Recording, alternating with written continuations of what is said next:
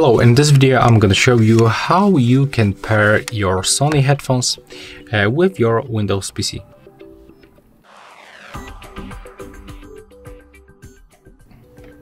So you have to click and hold this uh, power button.